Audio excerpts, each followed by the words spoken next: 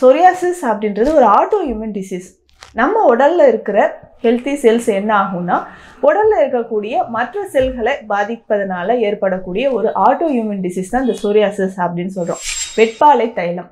Botanical name Wrightia tinctoria madam நான் வெட்பாலை தைலம் யூஸ் பண்ணேன் அப்படின்னா அவங்களாவே ஜென்ரலாகவே சொல்லுவாங்க. ஸோ வெட்பாலைக்கு ஆன்டி ஃபங்கல் ஆக்டிவிட்டி இருக்குது ஸோ அதாவது உடலில் இருக்கக்கூடிய எந்த விதமான தொற்றுகளாக இருந்தாலும் பூஞ்சை எதிர்த்து போராடக்கூடிய தன்மை இருக்கிறதுனால தேங்காய் எண்ணெயோட இதை நம்ம எளிமையாக இதை தயாரிக்கலாம். சூரியப்படம் வைத்து எடுக்கும்பொழுது.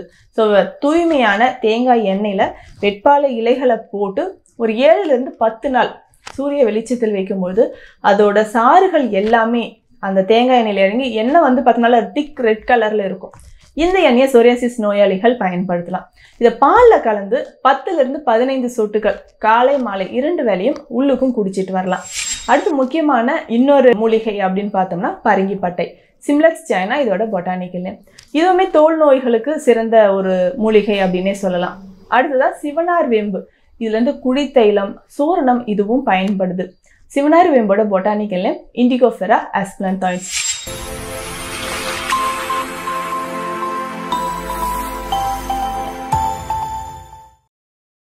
நலமுடன் வாழ்வோம் நேயர்களுக்கு வணக்கம்.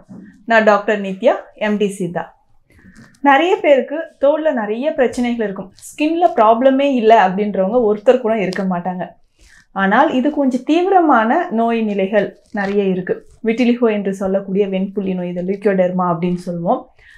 அடுத்தது சொரியாசிஸ் என்று சொல்லக்கூடிய காளாஞ்சகப்படை செதில் உதிர் நோய் அப்படின்னு இதை சித்த மருத்துவத்தில் சொல்கிறோம் ஏன்னா தோள்களில் இருக்கக்கூடிய மேலே இருக்கக்கூடிய பகுதிகள் எல்லாமே அவுட்டர் லேயர் எல்லாமே செதில்கள் மாதிரி உதிர்ந்துக்கிட்டே இருக்கும். திருக்கே செதில் உதிர் நோய் அப்படின்னு பெயர் வந்ததுன்னா நம்ம ஸ்கின்ல இருக்கக்கூடிய அவுட்டர் லேயர் எபிடெர்மிஸ் நார்மலாக இருபத்தெட்டுலேருந்து முப்பது நாட்களுக்கு ஒரு முறை ரீப்ளேஸ் ஆகும். உதிர்ந்து நியூ செல்ஸ் வரும். ஆனால் இந்த சோரியாசிஸில் என்ன ஆகும்னா திரும்ப திரும்ப வந்து நம்மளுடைய அவுட்டர் லேயர் ஸ்கின் வந்து உதிர்ந்துக்கிட்டே இருக்கும். த்ரீ டு ஃபோர் டேஸில் ரீப்ளேஸ் ஆகிட்டே இருக்கும். இதனால மீன் செதில் மாதிரி உதிர ஆரம்பிக்கும். இந்த நோய் சொரியாசிஸ் அப்படின்றது ஒரு ஆட்டோ இம்யூன் டிசீஸ் நம்ம உடலில் இருக்கிற ஹெல்த்தி செல்ஸ் என்ன ஆகும்னா உடலில் இருக்கக்கூடிய மற்ற செல்களை பாதிப்பதனால ஏற்படக்கூடிய ஒரு ஆட்டோ இம்யூன் டிசீஸ் தான் இந்த சோரியாசிஸ் அப்படின்னு சொல்கிறோம் பொதுவாக ஆட்டோ இம்யூன் டிசீஸ்க்கு எந்த மருத்துவமே இல்லை அப்படின்னு சொல்லுவாங்க எல்லா வகையான ஆட்டோ இம்யூன் டிசீஸ்க்கும் நம்ம சித்த மருத்துவத்தில் தீர்வுகள் இருக்குது இப்போ சொரியாசிஸ் அப்படின்னும் போது இதில் நிறைய வகைகள் இருக்குது சோரியாட்டிக் வல்காரிஸ் அப்படின்னு சொல்லுவோம் அதாவது உடல்ல காயின் ஷேப்ல ரவுண்ட் ரவுண்டா ரெட் கலர்ல இருக்கும். இது மேலே வந்து ஒரு சில்வர் கலரில் சின்ன சின்னதாக அப்படி பவுடர் உதிர்ற மாதிரி ஏற்படும். சோரியாசிஸ் வல்காரிஸ் அப்படின்னு சொல்கிறோம் கட்டேட் சோரியாசிஸ் அப்படின்ற இன்னொரு டைப் இது குழந்தைகளுக்கு பெரும்பாலும் அடலசன்ட் ஏஜில் இருக்கவங்களுக்கு சின்ன சின்னதாக ரெட் பிங்க் கலரில் ரெட் இல்லைன்னா பிங்க் கலரில் புள்ளிகள் மாதிரி ஏற்படும். அடுத்தது பஸ்டுலார் சோரியாசிஸ் அப்படின்றது உள்ளங்கை உள்ளங்கால்களில் அதிகமான வேதனைகள் தரக்கூடிய உள்ளங்கை உள்ளங்காலில் பார்த்தோம்னா வெடிப்பு ஏற்பட்டிருக்கும். இதில் வந்து சின்ன சின்ன நீர் கோத்த மாதிரி சீர்கோத்த மாதிரியும் இருக்கும். எரித்ரோடெர்மிக் சோரியாசிஸ் அப்படின்றது தான் உடல் முழுவதும் பரவி இருக்கக்கூடிய ஒரு நிலை.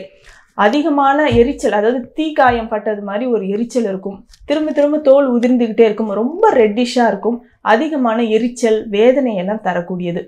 இன்வர் சொரியாசிஸ் அப்படின்ற ஒரு கண்டிஷன் தோல் மடிப்புகளில் அக்குள் பகுதிகளையோ இல்லை தொடை இடுக்குகள் பெண்களுக்கு மார்பகத்தின் அடியில் பிரஸ்ட்டு கீழே இருக்கக்கூடிய மடிப்புகளில் இந்த சொரியாசிஸ் அப்படின்ற நிலை ஏற்படும். இதில் வந்து ஃபங்கல் இன்ஃபெக்ஷன் இருக்கு அப்படின்னும் பொழுது இன்னும் அதிகமான அரிப்பை உண்டாக்கும். ஒரு சிலருக்கு ஸ்கேல்ப் சொரியாசிஸ் ஏற்படும். தலையில் வந்து சொரியாசிஸ் வந்து வெள்ளை வெள்ளையாக பொடுகு மாதிரி ஒரு பவுடர் மாதிரி இருக்கும். லைட்டாக நம்ம கை வச்சு சொரிஞ்சோம் அப்படின்னாவே தோள்கள் உதிர ஆரம்பிக்கும். நிறைய பேர் இதை இனிஷியலாக டேண்ட்ரஃப் அப்படின்னு நினச்சிப்பாங்க. ஸோ டேண்ட்ரஃப்கான பொடுகுக்கான ட்ரீட்மெண்ட் எல்லாமே ஸ்டார்ட் பண்ணுறது ஷாம்பு எடுக்கிறது ஸோ டை யூஸ் பண்ணுறது இதெல்லாம் யூஸ் பண்ணுவாங்க. அதிகமாக கெமிக்கல்ஸ் இருக்கக்கூடிய ஷாம்பு யூஸ் பண்ணால் சோரியாசிஸ் நோய் அதிகரிக்க தான் வாய்ப்பு இருக்குது சரி சோரியாசிஸ் வருது.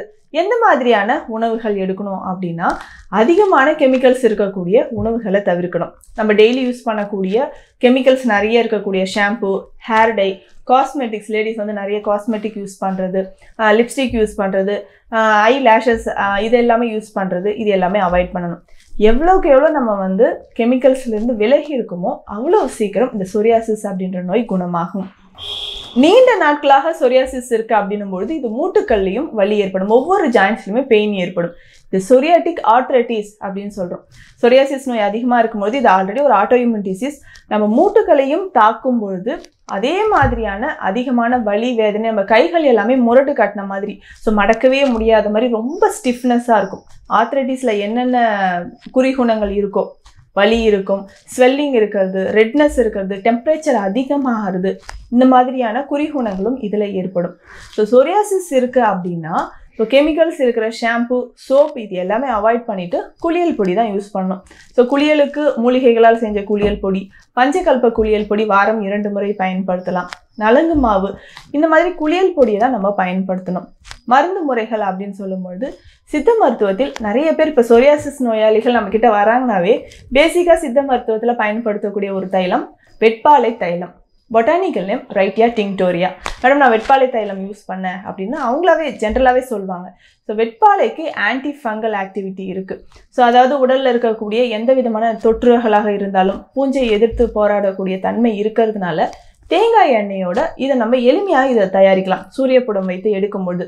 ஸோ தூய்மையான தேங்காய் எண்ணெயில் வெட்பாலை இலைகளை போட்டு ஒரு ஏழுலேருந்து பத்து நாள் சூரிய வெளிச்சத்தில் வைக்கும்பொழுது அதோட சாறுகள் எல்லாமே அந்த தேங்காய் எண்ணெயில் இறங்கி எண்ணெய் வந்து பார்த்தோம்னா திக் ரெட் கலரில் இருக்கும்.